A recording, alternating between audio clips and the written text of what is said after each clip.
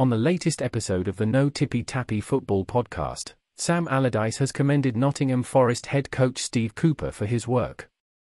Despite Allardyce being a controversial figure, he has managed several Premier League teams, including Everton, West Ham, West Brom, and Bolton. Allardyce was impressed by Cooper's performance as the Reds' incumbent. Don't forget to like our videos, comment, and hit the notification bell to stay updated with all the latest news. Let's support our team together.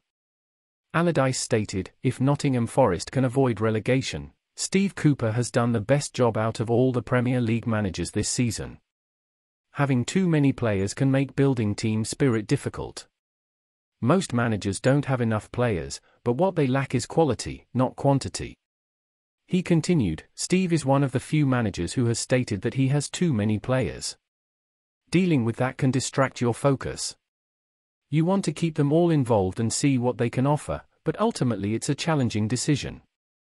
Steve has done an incredible job of managing these issues while achieving good results. Cooper, who is 43 years old, is facing his first significant challenge as the Reds manager. The team has gone five games without a win in the Premier League, and Cooper must now demonstrate his mettle to convince Forest supporters of his abilities once again. Cooper has done an excellent job of blending the team's 30 new players, and he deserves recognition for his efforts.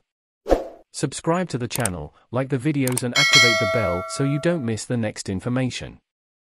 Nottingham Forest is eager to avoid relegation, and their owner, Evangelos Marinakis, is ambitious and willing to invest money in the team. Allardyce has a reputation as a Premier League survival specialist, and Cooper will be hoping to create his own survival story as he strives to keep Forest in the top flight.